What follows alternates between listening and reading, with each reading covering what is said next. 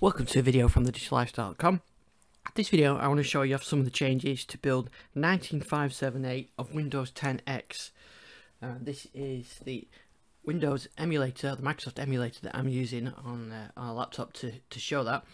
And uh, there's a couple of interesting new things, a new file, uh, there's a new file explorer, um, there's better Win32 comp compatibility, I'm going to show you that as well. Uh, so first thing about the uh, emulator is that you don't have to be a Windows Insider to run it now, so you can run it on your uh, on your normal PC as long as it supports the technical requirements.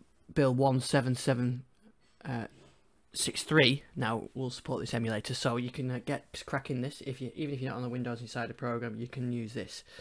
Okay, so what's new on this build? Well, first I've signed in here, so you can see I've got my recent apps. You notice the start menu looks a bit more centered. Uh, I have seen it full screened as well, but uh, it's got a bit more centered.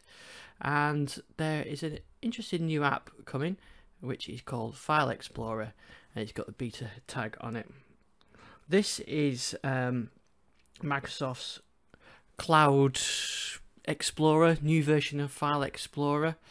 Um, so you can see here by the icon that it's actually you, all this content is from um, from OneDrive and you can see I've got an audio folder in OneDrive where I store my podcasts and there all the files are. So I could play those um, podcasts directly here from File Explorer uh, or using OneDrive content. I would imagine what Microsoft will do is add more sources. If I show you on here, you can see you've just got files. But I imagine that they could add more sources, maybe the local file system, so you can move files between the local system and uh, and and uh, the cloud, and maybe they could add OneDrive for Business or something like that as well. So you can see here, this is the effectively the modern version of File Explorer that will be uh, shipping with Windows 10X. It's a beta at the moment, but uh, there's a lot of work to do, I guess, on it. But there you go. So there you can see I've um, playing the podcast that I store in my OneDrive folder directly on here using Groove Music because it's the default audio player. So that's the new File Explorer. Uh, in the release notes, Microsoft mentioned that they've improved the handling of Win32 apps. And just to show you, I found a really old one that I do use every now and again. And um, it's called uh, PuTTY, which is a communications. You can use it Telnet, FTP, SSH, that kind of thing and it's a proper old school Win32 app and as you can see I've just uh, fired that up and yeah it works okay.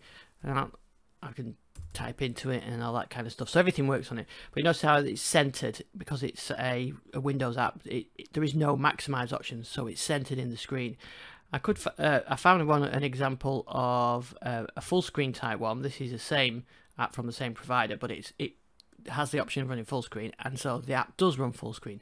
So you can see how Win32 apps are going to run in their fixed window size or if they've got um, a resizable window I think they're going to run full screen like that. I also installed the Spotify app from the Windows Store which is a Windows uh, a Win32 app and it certainly looks better with this build than it does um, than it did in previous builds. In previous builds, it was kind of in a strange window, and uh, you couldn't resize it. Now it goes to that full screen as it did as these other apps did. So you can see it's full screen, but there's no minimize option. Um, and I found after uh, after the, the device restarts and auto runs, I couldn't really find a way to launch it back up without actually just killing the task and rerunning it again. Uh, that's because you've no task tool uh, task tray or application tray down here in the bottom corner like you used to have. Uh, now you've got just this um, got quick settings area.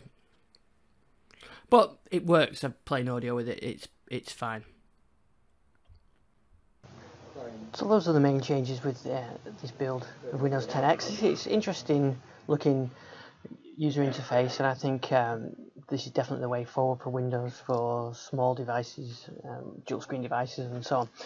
So it'll be interesting to see how this project develops. We'll see more builds in the future and you can find out more on digitallife.com and on my Twitter at isdixon. Thanks for watching this video.